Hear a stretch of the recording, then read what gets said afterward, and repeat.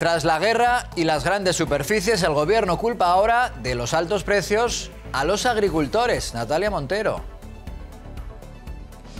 Ahora la presión se centra en ellos, en los agricultores, y dicen que es imposible, que ellos no pueden bajar los precios porque no les han bajado los costes de producción. Piden que no les culpen de la subida de la cesta de la compra, que van a seguir trabajando porque es lo que les gusta, pero que con la comida no se juega.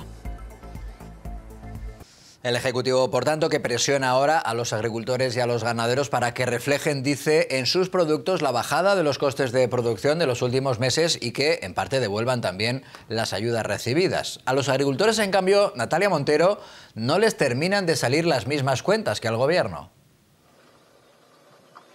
Sí, porque ahora el turno es el de los agricultores. ¿Y qué dicen ellos? Que no, que no pueden bajar estos precios porque no les han bajado los costes de producción. Piden que, por favor, que no les, se les eche la culpa de que está subiendo la cesta de la compra. La ministra se escuda en que han bajado los costes de la energía, también esas ayudas, pero ellos dicen que estas ayudas a los fertilizantes están mal distribuidas, que van a seguir trabajando porque es su vocación, pero que con la comida no se juega.